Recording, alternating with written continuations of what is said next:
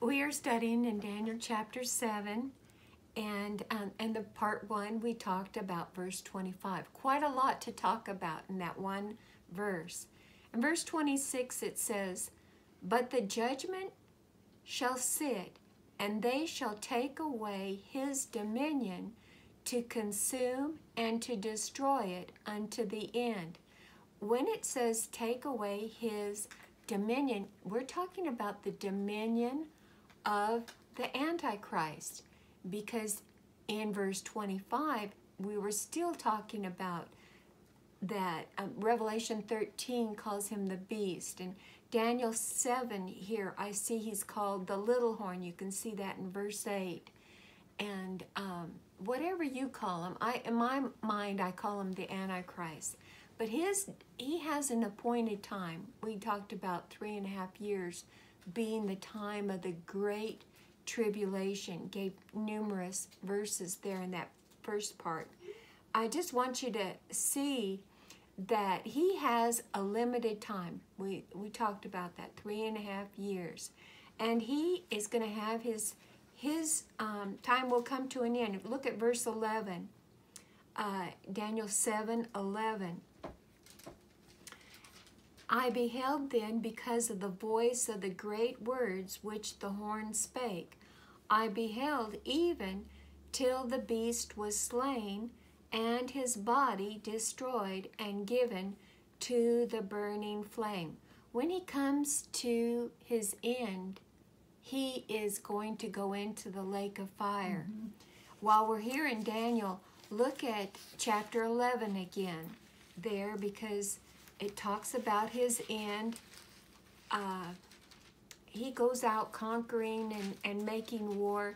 But the very last verse in Daniel 11, verse 45 says, And he shall plant the tabernacle of his palace between the seas in the glorious holy mountain. Yet he shall come to his end, and none shall help him. So when it talks about that glorious holy mountain, it makes me think of Jerusalem. It makes me think of Mount Zion. I'm looking for the rebuilding of the temple because uh, according to Second Thessalonians chapter 2, he's going to sit in the temple proclaiming that he is God. When I see that he's going to come to his end, I can look in Revelation 19 and it says 1919 says and i saw the beast and the kings of the earth and their armies gathered together to make war against him that sat on the horse and against his army.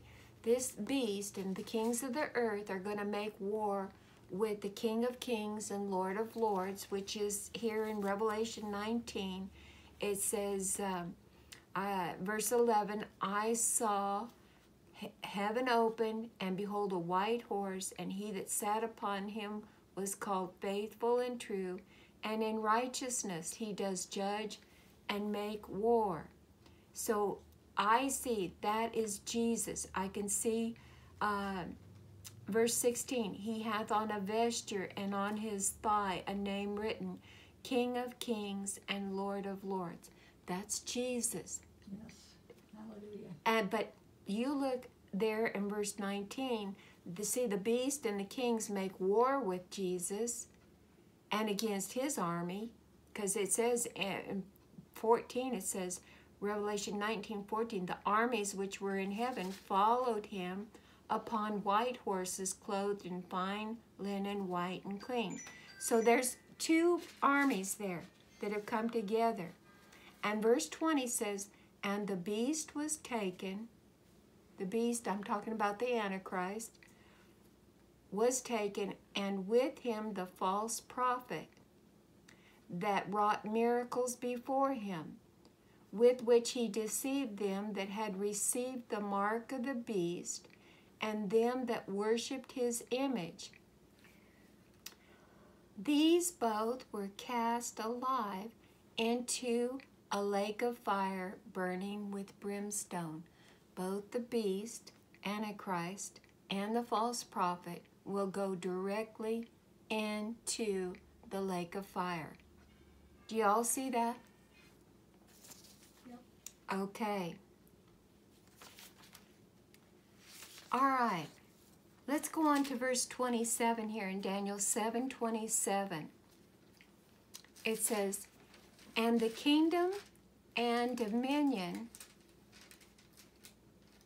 and the greatness of the kingdom under the whole heaven shall be given to the people of the saints of the Most High, whose kingdom is an everlasting kingdom, and all dominions shall serve and obey him. This is about the third time this is said in this particular chapter. Look at verse 14.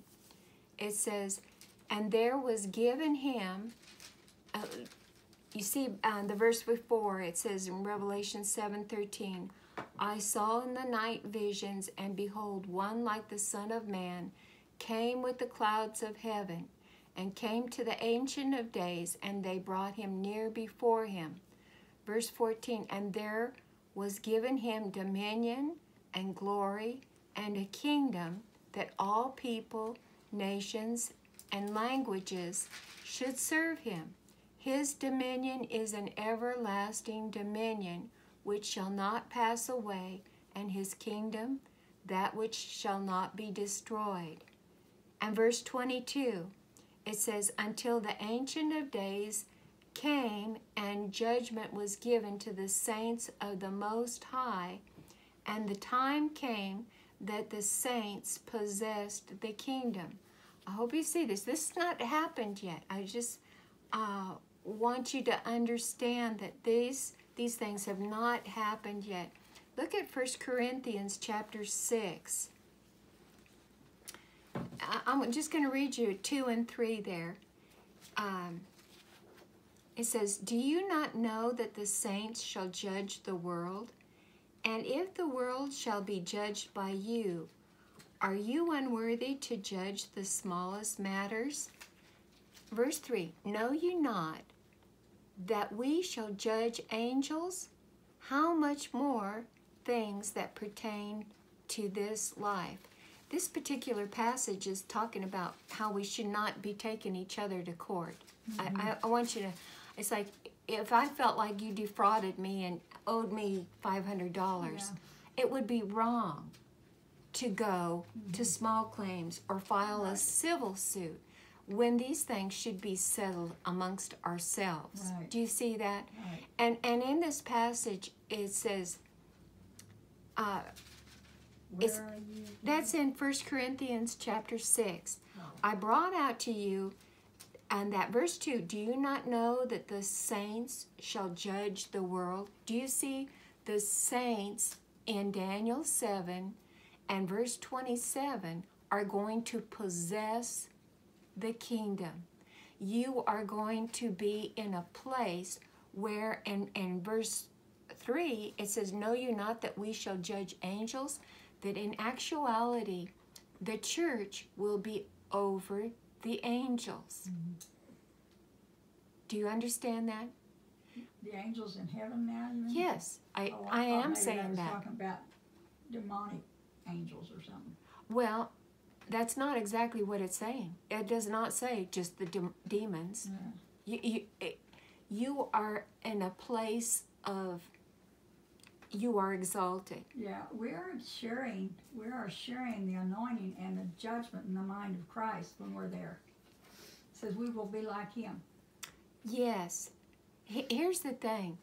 Don't get puffed up over thinking, I'm going to rule you with a rod. No, that ain't that ain't that- Christ ruling. that- that's, that's- man ruling. That's that's not. Um, I, I looked in here in Mark ten because uh, this in Mark ten, you know that James and John, their brothers, their their mother wanted them to sit on Jesus's right hand and and left hand, and he said, "Well, you don't know what you're asking for." And but in that passage there in Mark ten, verse forty two says. But Jesus called them to him and saith unto them, You know that they which are accounted to rule over the Gentiles exercise lordship over them, and their great ones exercise authority upon them. That's the way it is in the world. The great ones rule over the lesser ones. But it says 43, but so it shall it not be among you. But whosoever will be great among you shall be your minister. And 44, and whosoever of you will be the chiefest shall be servant of all. And 45, for even the Son of Man came not to be ministered unto, but to minister and to give his life a ransom for many. That tells me that that's the way we should be living our lives now. And that's what you sh- mm-hmm. should be thinking when you, um, you know, uh, I just recently have read uh, the story about Abigail and how she came to be David's wife. Mm-hmm. You know, her husband was Nabal, which mm-hmm. meant fool, and uh, David had sent messengers to Nabal to ask for some food, and he said, "Ah, that D- David is he who is he to me?" And he ran him off, mm-hmm. And it made David mad, and he was going to go down and just kill them all. Well, when one of the servants told Abigail what had transpired, and um, she made haste and she um, gathered up uh, food and sustenance and and hurried up and met him in the way as he was coming to mm-hmm. a great slaughter. When I was reading that uh, and, and just read it last night, and it just stuck out to me because after Nabal died, David sent and said, I want you to come and be my wife, right? And here, here's what she, she said When the servants of David were come to Abigail to Carmel, they spake unto her, saying, David sent us unto thee to take thee to him to wife. And she arose and bowed herself on the face of the earth, and said, Behold, let thine handmaid be a servant to wash the feet of the servants of my Lord. Do you see that? Here she has just been invited to be his the wife of the king to be, mm-hmm. right? Mm-hmm. And she says, Let thine handmaid, she'd be queen. If he mm-hmm. is king, she's queen. Let thine handmaid be a servant to wash the feet of the servants of my Lord. She had this mindset right. of as long as I'm a doorkeeper or I'm mm-hmm. washing feet, it's okay with me as long as. I, I hope you understand that's that. That's why David fetched her.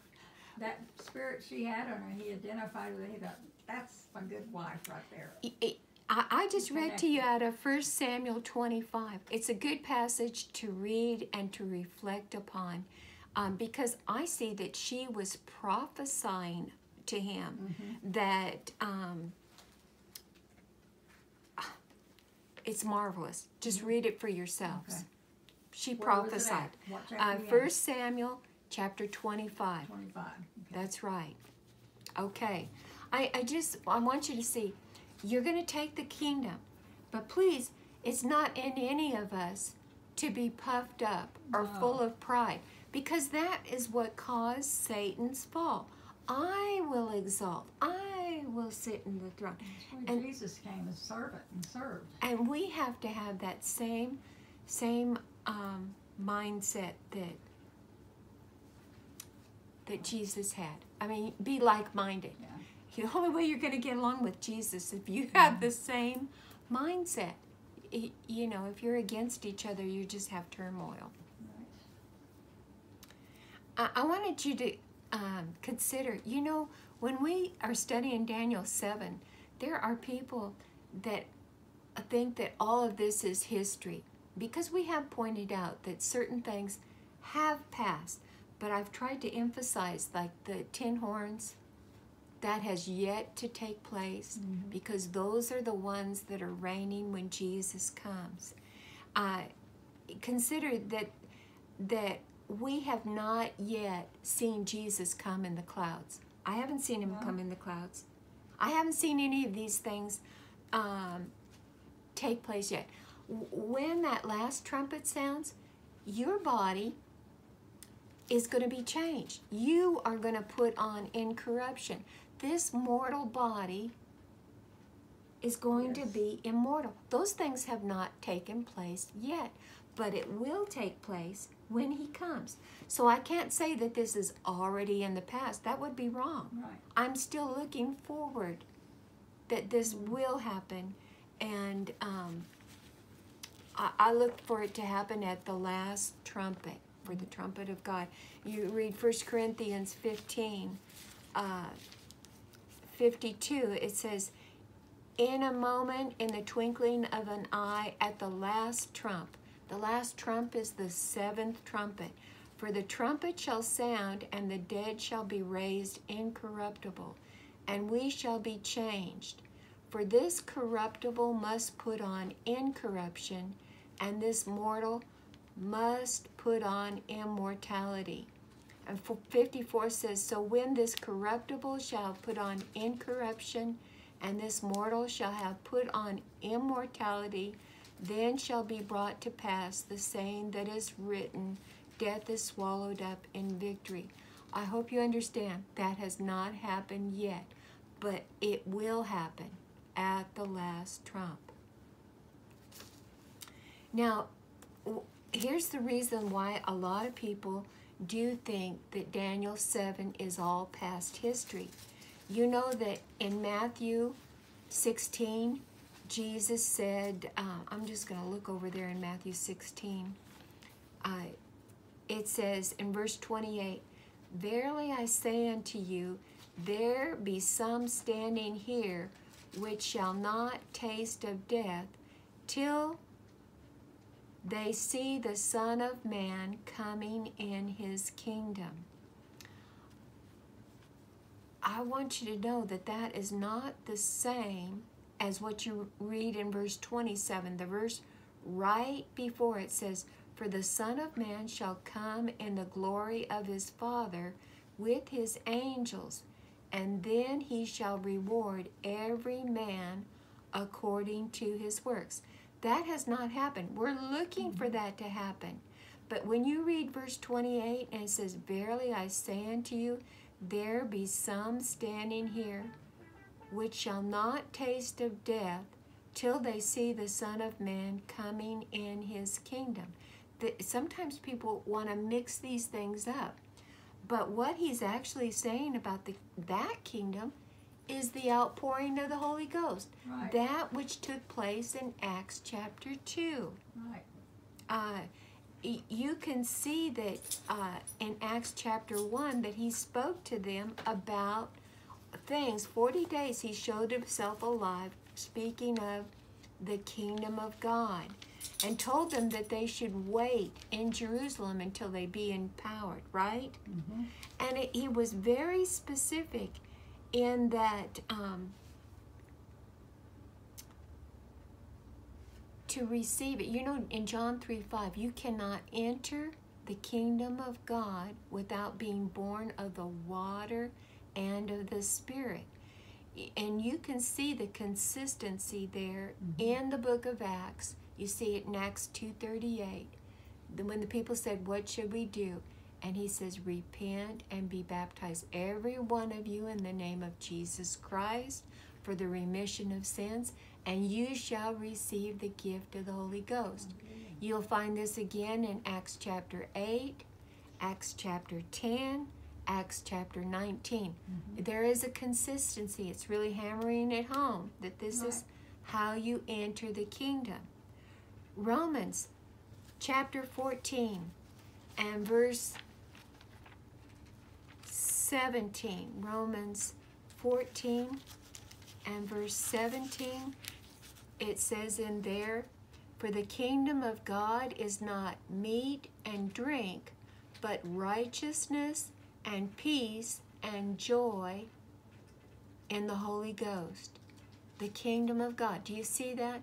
The kingdom of God that we're seeing that spoken of is not what we are talking about that's going to happen when Jesus comes in the cloud. Right. Uh, another one would be uh, found in 1 Corinthians 6 19.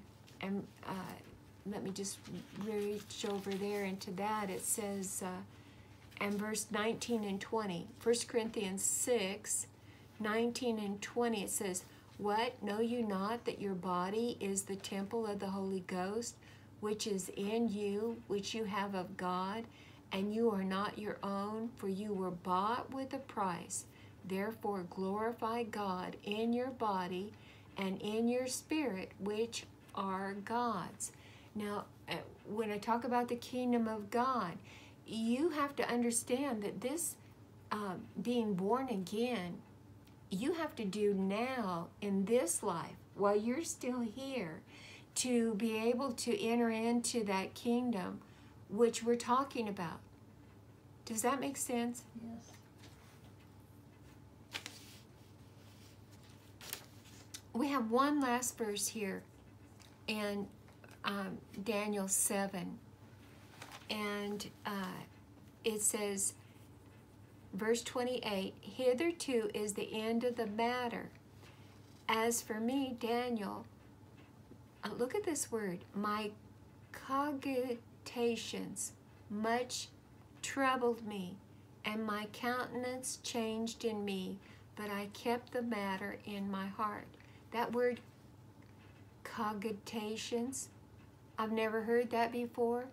And I looked it up in the concordance and it's only used one time. And that word means thoughts or meditation. Mm-hmm. That's what it says here. Mental conception, cognition, thoughts. And you can see, he says, but I kept the matter in my heart. Mm-hmm. Uh, we talked about this last week that um, how the the things were so troubling to him as he was uh, verse 15 i daniel was grieved in my spirit in the midst of my body and the visions of my head troubled me you see and we talked about how some things that you hear like you hear bad news and it troubles you and um, he was troubled. Yeah, you know, it says that it'd be like meditating on yes. God. He, he considered his thought, kept it in his heart and his thoughts. In Psalms, all over it says, well, one of the first ones says in Psalms is, but his delight is in the law of the Lord, and in his law doth he meditate day, day and, and night. night. Yes. So lots of talking about meditating on the Word and on keeping your mind upon God and the things that He said. They're all for comfort and direction. Right. Amen. Amen. Do you want to go ahead and close this? We're ready? Okay, Yes. it's been a good study. Praise the Lord. Thank you, Lord Jesus. We so appreciate your word. It's just not adequate to tell you how thankful we are, Lord, and how we glorify your name, Jesus. God, there's so much in here, a wealth of wisdom and knowledge that we desire to attain, God. We know the day's coming, Lord, that we're in that entering into that end time, Lord, and that there's more coming and things men's hearts are going to give out and they're going to faint and look at things and and have heart attacks or whatever for fear of the things coming upon the world. Lord Jesus, if we just meditate on the things that are coming, we can find ourselves in fear. But God, we have to just meditate on your word and know that you're leading and guiding us, that you're going to keep us in your way. You're going to, you promised us your spirit. You said you'll never leave us nor forsake us. And Lord, that if we keep your words at the forefront, Lord, that we will be led of your spirit and won't walk in fear. I thank you, Lord, for what you're doing in this world. And I ask you, Lord, to put your covering of, of protection upon the saints, God. Let their hearts be joyful and gladly and rejoice in you. Alleviate their pains and their suffering, God. Be with them, Lord. Keep your hand on them, Lord Jesus. I ask you to heal your saints, Lord. Heal those that are in need and help them to come to know you as King of Kings and Lord of Lords. We give you all the praise and honor and glory in Jesus' name. Amen. Amen. Amen. Praise the Lord.